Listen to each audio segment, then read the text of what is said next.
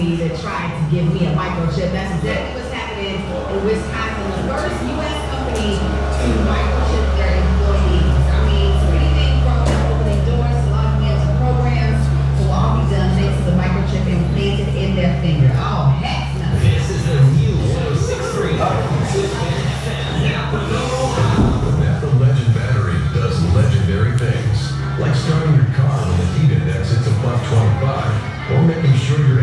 stage running like a gazelle.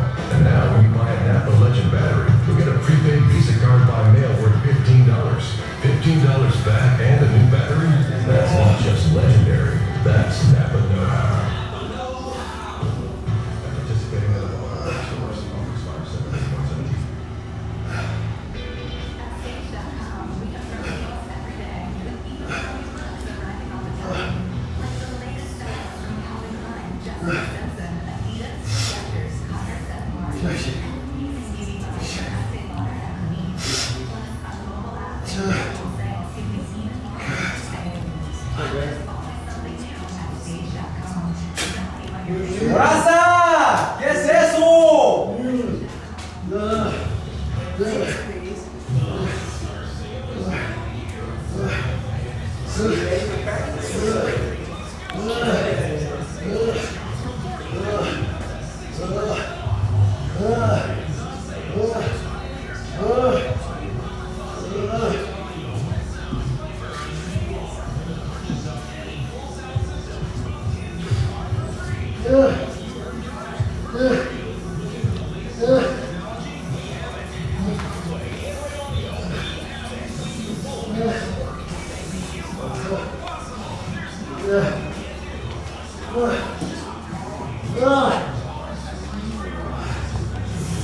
Yeah.